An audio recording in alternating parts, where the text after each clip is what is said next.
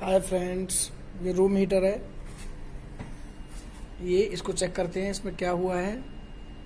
अगर आपके घर पे भी है ये तो आप खोल के इसको रिपेयर कर सकते हैं। आइए जानते हैं कैसे।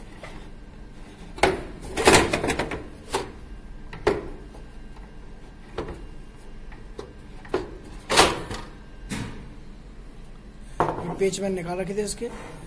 बस कवर खोला और ये निकल के ऐसे हो गया। अंदर देखिए। अंदर का ये है। ये फ़ैन है। ऐसे चलता है ये हवा देता है। और, भाइयों, ये थर्मोस्टेट है। थर्मोस्टेट का काम ये है कि ये अगर फ़ैन बंद हो जाए तो यहाँ पे हीट अगर ज़्यादा होने पे आग नहीं लगेगी स्प्रिंग आपकी ख़राब नहीं होगी, यानी कि हीटर आपका ख़राब नहीं होगा। और ये ट्रिप कर देगा इसको। और ये इसका बेस्ट बेनिफिट है कि ये जलेगा नहीं कभी भी। अगर फ़ैन बंद हो जाता है तो ओवर हीट हो जाएगा हो जाएगा सीधी सी बात है। तो उस कंडीशन में ये ट्रिप कर जाता है। ये बेस्ट है इसके लिए। तो आगे बढ़ते हैं। ये फ़िलहाल क्या है कि ये मैंने ऑन किया। और यहाँ से ये ऑन किया। तो फ़ैन देखो चल रहा है इसका, ठीक? लेकिन हीटर गर्म नहीं हो रहा। गर्म हवा नहीं आ रही। तो यही देखना है इसमें क्या प्रॉब्लम है। चेक करते हैं। और अगर आपको ये वीडियो पसंद आ रहा हो तो लाइक करें सब्सक्राइब करें कमेंट करें शेयर करें। ताकि आने वाली वीडियो आपको मिलती रहे। और भी कुछ जानकारी चाहिए तो आप मेरे को कमेंट बॉक्स में कमेंट लिख सकते हैं।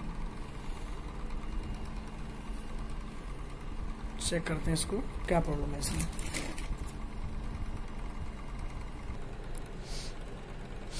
ये थर्मोस्टेट है, हम इसको यहाँ से ऐसे शॉर्ट करके भी देख सकते हैं।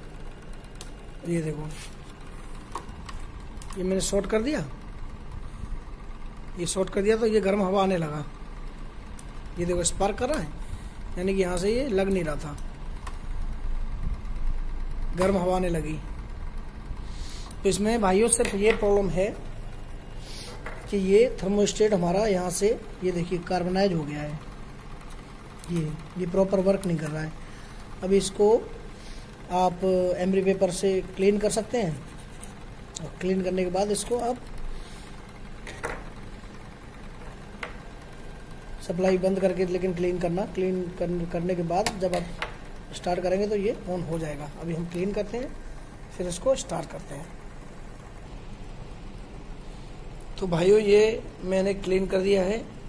अब मेरा ये ब्लोअर अच्छा चल रहा है। बढ़िया चल रहा है अभी ये।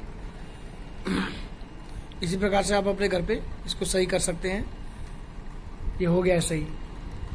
थोड़ा सा एमरी पेपर से साफ़ किया और ये चलने लगा। ये ऑटोमेटिक कट करने लगता है। टेम्परेचर अगर इसका बढ़ जाए तो सेफ्टी है, मैंने ये अच्छा है।